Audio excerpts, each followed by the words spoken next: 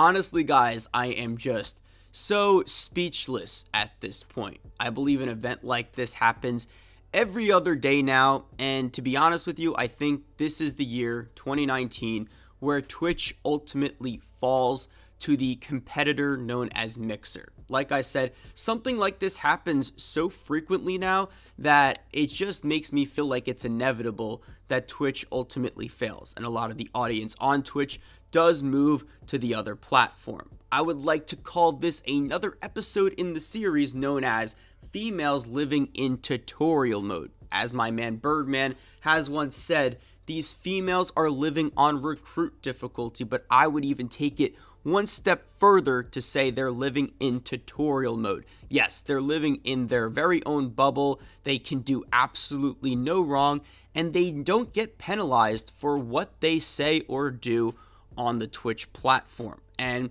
this is just another event, and it is a little bit more serious, even though the title and everything and the way I started this video does come off as funny, or at least I'm trying to be. It is kind of serious what she did say. Now, before we even talk about her, I think we need to talk about Twitch's track record. As you guys know about the whole Alinity situation, and if you don't, I'm going to quickly debrief you. Basically, this female Twitch thought known as Alinity has done a variety of different things that not only constitute as illegal acts, but also go against the Twitch platform. So she's thrown her cat behind her head, which got her a lot of attention and probably more subscribers and followers than the other intention, which was to actually deplatform her. But on top of that, she actually has done something also way more serious than that, which is feed her cat vodka. She literally let her cat lick vodka from her mouth, and the cat showed some violent twitches, I would like to say. And if you guys don't know, vodka and alcohol alike are basically poisonous to cats, 100% poisonous. I'm surprised the cat didn't actually get seriously sick from this situation, but like I said, we probably don't know all the details. So, Basically, with that being said, she's also even constituted some type of illegal act by deliberately saying on Twitch that she married somebody for Canadian citizenship, which is definitely illegal. And she received absolutely no ban, no type of suspension for her actions, not even one type of penalization. I don't even know if that's a word, but we're going to make it a word today. So, with that being said, she has not gotten in trouble whatsoever. And on top of that, Twitch is also in some, I would say, popularity trouble compared to the competitor known as Mixer. If you guys don't know, Mixer bought out one of the biggest streamers known as Ninja. And now Ninja has a million subscribers and I think a little less than a million concurrent viewers and they are a huge audience, basically people moving from Twitch to Mixer, which is pretty concerning. I think Twitch should definitely be concerned from this scenario. We could easily see more people moving to Mixer based off of Ninja's actions. We could see people going there because there is an audience to be had. And ultimately, I think Twitch could definitely fail from these situations already known. But there's another female Twitch streamer that is also living in tutorial mode today. And I don't even know how to say her name. I'm just going to make it up and say her name is Aramonth. Um, and she basically streams on Twitch. She gets a decent amount of subscribers, nothing too crazy, but she said something very, very racist on the platform. And she is not getting any type of ban or punishment as I'm recording this video. So let's roll the tape. Can we get some uh, Pocky on the ethnic aisle? I guess they have that nigger store too now. Ramen on some ethnic aisle.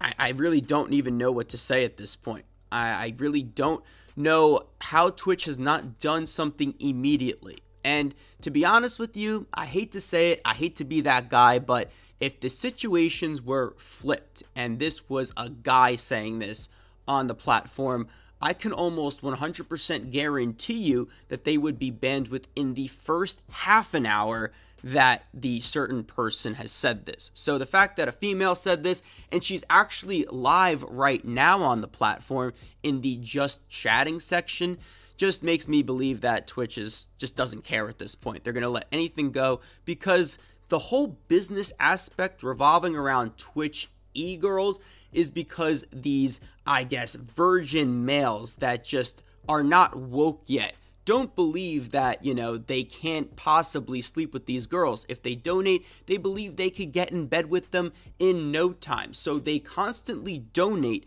to these Twitch ethos such as Alinity and Amouranth. And basically, the Twitch platform is getting money from all of these donations from these little boys that think they can sleep with any girl on Twitch.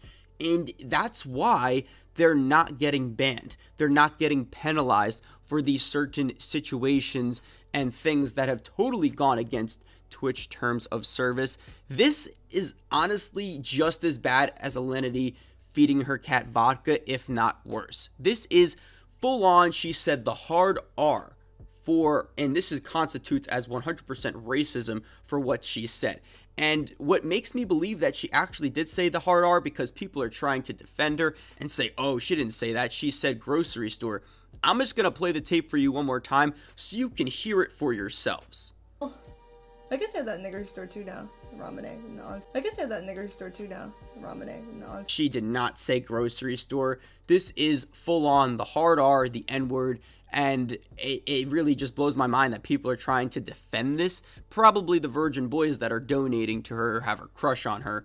But I mean, I really don't know what to say. This is not okay at all. This goes against the terms of service. And like I said, the fact that Twitch is not banning her is just another slap in the face to the audience. It totally 100% constitutes what Twitch is nowadays. And I just, I really don't know what else to say it's it's quite disturbing that Twitch hasn't done anything. It's quite disturbing that this female said what she said without any type of repercussions.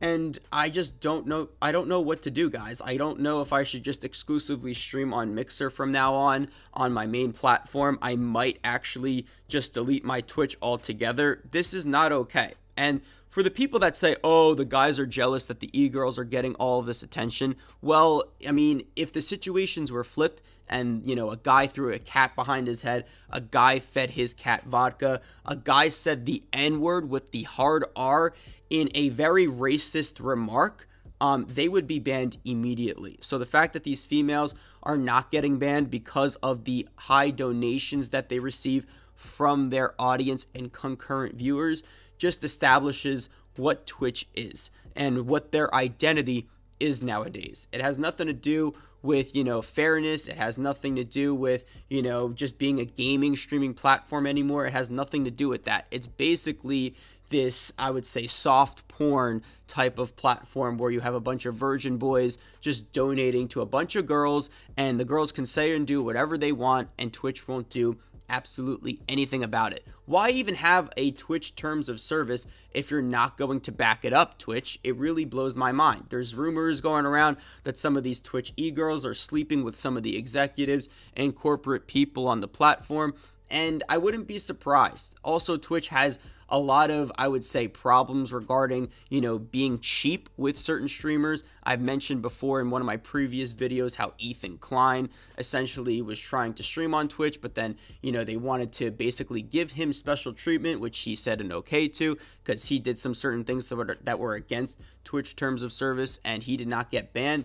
And on top of that, they wanted him to stream a certain amount of hours, and they wanted to also nickel and dime him on his salary or whatever type of money they were giving him under the contract, and he just wasn't having that. So he basically backed away, but he admitted on his podcast that there is definitely double standards and special treatment for certain people on Twitch. So I guess we can just add this girl to the list. She is 100% living in tutorial mode, and I mean, it just it just is a very bad situation for Twitch. Uh, there might be an update to this video. If there is, I'll let you guys know. But as of right now, she is live on Twitch. She has not been penalized. She is definitely not running into any situations in terms of a ban or any type of repercussions.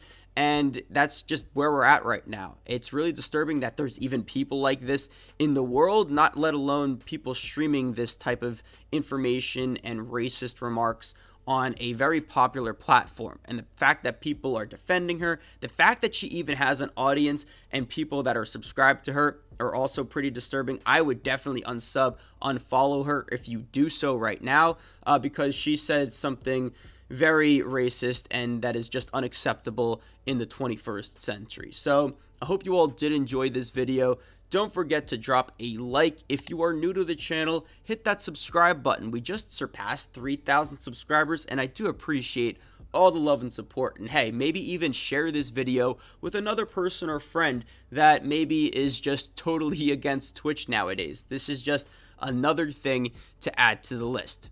I'm Cryptix, not saying any type of racist remarks on Twitch and getting special treatment for it. And I'm signing off.